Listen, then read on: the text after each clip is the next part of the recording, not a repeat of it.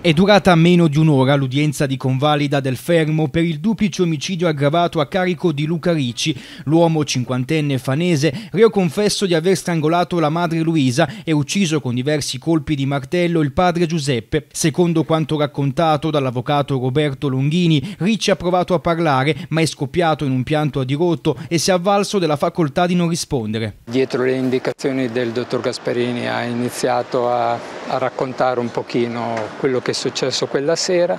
ma si è praticamente immediatamente interrotto perché aveva ripetute crisi di pianto e disperazione,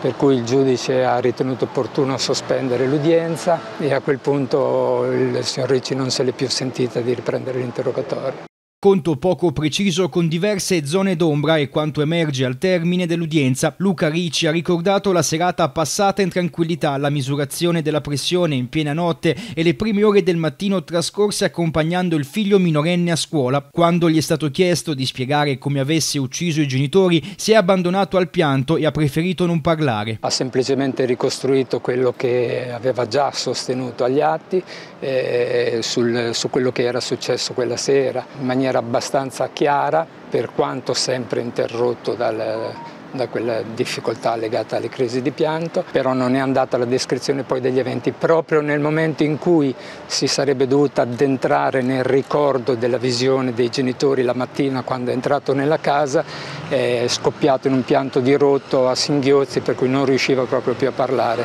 e il giudice ha avuto la delicatezza di interrompere l'interrogatorio. L'avvocato Roberto Longhini parla dell'ipotesi di voler sottoporre il suo assistito a perizia psichiatrica nel corso delle indagini. Ci vorrà tempo per fargli ricordare tutto, ha dichiarato il legale di Luca Ricci. Adesso veramente anche da un punto di vista difensivo bisognerà valutare perché a me sembrano evidenti delle grosse lacune da un punto di vista proprio psicologico di questa persona se non ovviamente psichiatrico, perché ci sono troppi vuoti, troppi buchi di memoria, troppi punti neri rispetto alla chiarezza di tutto quello che è al di là dell'episodio centrale di questa vicenda. Al termine dell'udienza il PM Maria Letizia Fucci ha chiesto l'ordinanza di custodia in carcere per duplice omicidio volontario aggravato. Il GIP Giacomo Gasparini si è riservato la decisione. Per ora siamo in fase di indagini preliminari, quindi anche in questa fase che siamo nei termini di una convalida dell'arresto